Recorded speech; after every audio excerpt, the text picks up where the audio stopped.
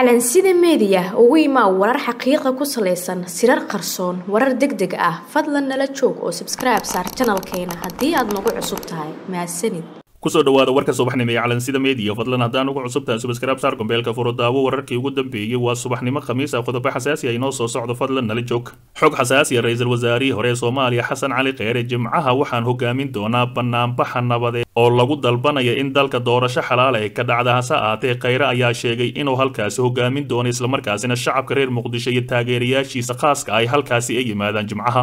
ra'iisul wasaarihii hore ee soomaaliya xasan cali kheyre ayaa sheegay inuu maalinta jimcaha ay soo socoto hogaamin doono banaanbax nabadeed oo lagu dalbanayo in la qabto doorasho la isla ogol yahay. Wuxuu sheegay in qodobka labaatanaad ee dastuurka kumeelgaarka ahi uu xaq aas-aasi ahi u siinayo muwaadin kasta inuu abaabuli karo kana qaybgeli karo kulan ama banaanbaxyo nabadeed oo cabasho lagu muujinayo iyada oo aan loo baahnayn wax ogolaasho ahi sida ay midowda musharaxiinta horey u iclaamiyeen waxaan maalinta jimcaha ah ee soo socota taariikhduna ku beegan tahay sagaal iyo tobanka febraayo hogaamin doonaa banaanbax nabadeed oo lagu dalbanayo inay dalka ka dhacdo doorasho la isla ogol yahay. Waxaan shacabka soomaaliyeed ee muqdisho ku nool iyo taageerayaashayda ugu baaqayaa inay ka soo qayb galaan banaanbaxa nabadeed soona qaataan maaskarada afka si looga hortago cudurka caabuqa sagaal iyo toban ayuu yidhi xasan cali kheyre oo fariin baaq ahi u diray taageerayaashiisa wuxuu ugu baaqay ciidamada amniga qaranka ugu baaqaya inay waajibkooda sugidda amniga ay u gutaan si waafaqsan dastuurka ayna ilaaliyaan amniga banaanbaxayaasha daljirka dahsoon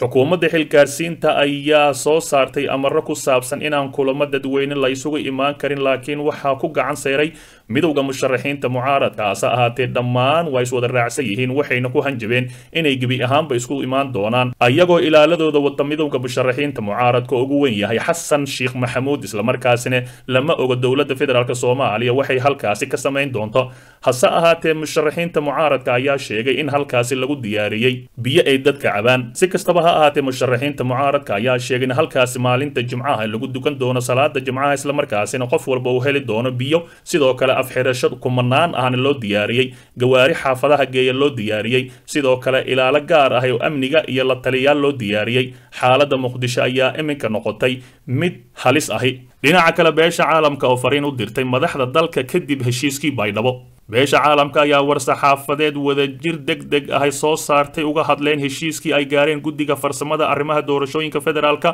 kuwaasi oo maalmihii la soo dhaafay ku shirsanaa magaalada baydhabo. Saaxiibada beesha caalamka ayaa si weyn u soo dhoweeyey heshiiskii lagu gaaray shirkaasi oo xal looga gaaray xiisada guddiga doorashada kuraasta somalilan xaalada gobolka gado adkeynta qoondada haweenka iyo jadwalka qabsoomidda doorashada dalka. Saaxiibada beesha caalamka waxay soo dhoweynayaan ku dhawaaqista lix iyo tobanka febraayo ee ahayd in guddiga farsamada dowladda federaalka ah iyo dowladaha xubnaha ka ah dowladda federaalk soomaaliya ay soo asteeyeen xaalka farsamo ee loo helay arrimaha dib u dhigaya hirgelinta hanaanka doorashada toban iyo toddobadii sebtembar iyo in xalkaas farsamo loo gudbiyo golaha wadatashiga qaran ayaa lagu yidhi qoraalka. Sidoo kale waxay soo dhoweynayaan baaqii uu guddiga farsamada u soo jeediyey madaxda dowladda federaalk iyo kuwa maamul goboleedyada dalka kaasi oo ahaa inay shirweyne loogu arrinsanayo doorashada ay isugu yimaadaan maalinta khamiista ahi oo maanta ku beegan ahna siddeed iyo toban. Inkasta oo ay adag tahay suurtagalnimada in kulan ay u dhan yihiin madaxda dowladda federaalk ee wakhtigooda dhammaaday iyo kuwa dowlad goboleedyada iskugu imaadaan shir haddana waxay saaxiibada beesha caalamka ku booriyeen madaxdaasi inay kulmaan siddeed iyo tobanka febraayo oo maanta ahi. Saaxiibada waxay sidoo kale soo dhoweynayaan baaqii guddiga farsamada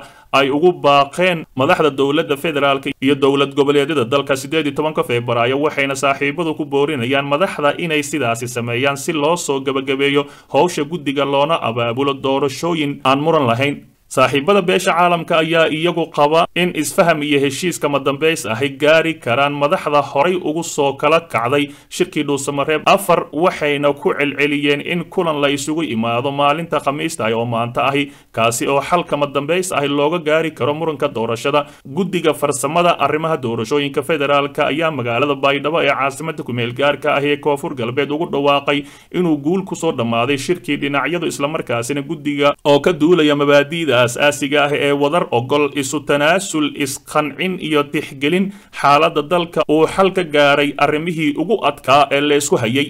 Fadlan dib u daaw wararkeenii hore ee calansida meediya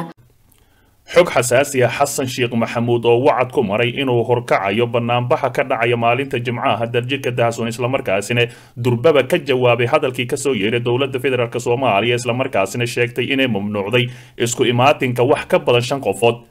xasan sheekh maxamuud ayaa durbaba ka jawaabay hadalkii dowladda federaalk soomaaliya. Shacabka u sheegay inay diyaar garoobaan islamarkaasina ay yimaadaan. Halkaas madaxweynihii hore ee soomaaliya xasan sheekh maxamuud ayaa sheegay in dadka ay soo xirtaan maaskarada islamarkaasina si loo ilaaliyo faafidda cudurka caabuqa sagaal iyo toban oo haatan faraba-an ku haya magaalada muqdisho waxaana uu sheegay inta aan haysan meesha lagu siin doono taas oo macnaheeda tahay in meelaha laga galo darjirka dahsoon ay halkaasi la taagan yihiin dad maaskarada haya islamarkaasina qof kasta oo ka qayb galaya halkaasi la sii doono maaskarada taasi ayaa adduunka sharci ka ah islamarkaasina dadka dibadbaxayada adduunka dhigaya inta uu jiray cudurka caabuqa sagaal iyo toban. Gebi ahaantoodba maaskaro ayaa loo qeybinaya ama la siinayey waxa uu yidhi dhag jalaq yaa loo siinin waa beenlowshin dowladda ayay khayaano ku sameeyeen dadka ayay hore u khayaaneen waan tegaynaa annaga ayaa ida horkacayno aniga ayaa ida horkacayo soo baxa. Khamiista oo keliya ayaa ka harsan maalinta jimcaha ah dowladdani waa dowlad dastuurka dumisay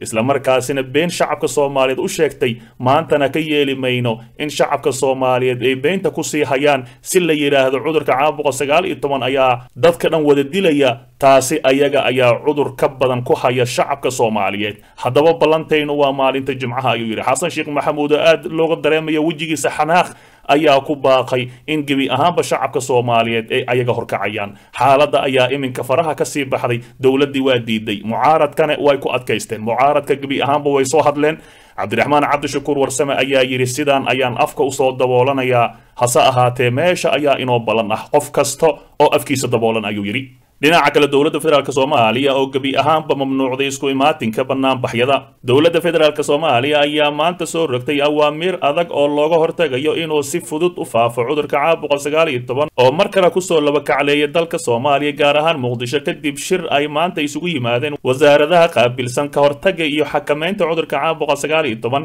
shirkaasi oo shir guddoominayay ra'iisul wasaaraha xilgaarsiinta maxamed xuseen rooble ayaa waxaa lagu go'aamiyey in la xakameeyo dhaqdhaqaaqa bulshada iyada oo xoogga la saarayo in meesha laga saaro isku imaatinka dad badan. Kulanka ra'iisul wasaare ka hor ayaa warbaahinta toos ula hadlay wasiirka warfaafinta soomaaliya wasiirka caafimaadka wasiirka amniga sidoo kale taliyaha ciidanka xoogga dalka soomaaliyeed taliyaha booliiska soomaaliyeed gebi ahaantoodba waxay sheegeen in maanta ama saacadan laga bilaabo inaysan jirin dad isku imaan kara awaamiirta ka soo baxday shirkani ayaa waxaa lagu fasaxay shaqaalihii rayidka ahaa ee dalka marka laga reebo shaqaalaha mahuraanka ah ee aan laga maarmi karin ilaa amar dambe waxaana gebi ahaanba la joojiyey isu imaatinka iyo is-uruursiga bulshada. Sidoo kale waxay xukuumadda waajibisay in dadka ka shaqeeya meelaha aan looga maarmi karin ay qaataan afsaar ama maaskarada iyada oo la joogtaynayo kala fogaanta masaafo aan ka yareen hal mitir ilaa laba mitir ayaa layidhi waxaa xusid mudan in awaamiirtaani aan si faahfaahsan loo sheegin waxa laga yeelayo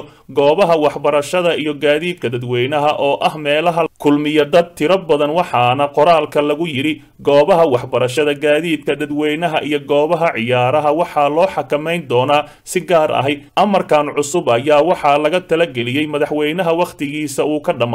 maxamed cabdilaahi farmaajo kaasi oo ku raacay in la dhaqan geliyo waxayna ku soo aadayaan xilli uu caasimada ka socdo abaabulka banaanbaxa ay iclaamiyeen musharaxiinta mucaaradka oo iminka ugu dambeysay uu ka hadlay xasan sheekh maxamuud. Si dhab ahi uma cadda in xukuumadda rooble ay ishortaagi doonto banaanbaxa hase yeeshee awaamiirtaani cusub ayaa meesha ka saaraysa in caasimada iyo guud ahaan dalka laga qabto isku imaatinada dadka aadka u fara badan. Dhinaca kale boqol iyo labaatan qof oo maanta laga helay cudurka caabuqa sagaal iyo toban wasaaradda caafimaadka dowladda soomaaliya ayaa faahfaahisay wararkii ugu dambeeyey cudurka caabuqa sagaal iyo toban. Wasaaradda caafimaadka ayaa sheegtay in maanta guud ahaan cudurka laga helay boqol labaatan iyo toddoba ruux oo ku sugan muqdisho puntland koonfur galbeed jubbaland iyo hirshabelle islamarkaasina ay sare u sii kacayaan kiisaska cudurka caabuqa sagaal iyo toban tirada afar iyo labaatankii saacay ugu dambeeyey laga baaray caabuqa sagaal iyo toban guud ahaan waa lix boqol soddon iyo toddoba qofood. Waxaa laga helay boqol labaatan iyo toddoba qofood. Banaadir boqol labaatan iyo lix qofood hirshabeelle hal qofood toddobaatan iyo saddex qofood. Waa rag konton iyo afar waa dumar sagaal ayaa dhimatay tirada guud ee laga helay cudurka caabuqa sagaal iyo toban. Guud ahaan tan iyo intii uu jiray cudurka caabuqa sagaal iyo toban waa shan kun iyo shan boqol. Waxaa bogsatay saddex kun toddoba boqol iyo konton. Guud ahaan dhimashada waxay maraysaa boqol toddobaatan iyo laba ruux